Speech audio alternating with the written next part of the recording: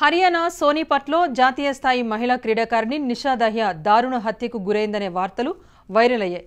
అయితే ఇది fake news అని తాను క్షేమంగానే ఉన్నానని నిషా వీడియో విడుదల చేసింది. సీనియర్ నేషనల్స్ కోసం సన్నద్ధమవుతున్నట్లుగా స్పష్టం చేసింది. అంతకుముందు నిషా కుటుంబంపై దుండుగులు తుపాకులతో కాల్పులకు పాల్పడ్డారని ఈ ఘటనలో నిషాతో పాటు ఆమె సోదరుడు అక్కడికక్కడే ప్రాణాలు కోల్పోయారని ప్రచారం జరిగింది.